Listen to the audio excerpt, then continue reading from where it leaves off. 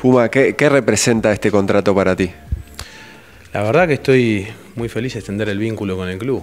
Eh, tenía un proyecto, una ilusión de un proyecto cuando llegué y poder extenderlo, o sea que se lleve a cabo lo que había firmado, la verdad que me, pone muy orgulloso a mí, me pone muy, muy contento, contento por lo que se está formando eh, en el club, lo que se está formando en el grupo, así que eh, estoy feliz de continuar acá. Se te, ve, se te ve muy cómodo y adaptado en Nacional, en el plantel, este, en, los céspedes y, en el país también, calculo. Tío, estoy feliz. Eh, a ver, yo y mi familia, por supuesto, porque si mi familia no está feliz es muy complicado tomar una decisión.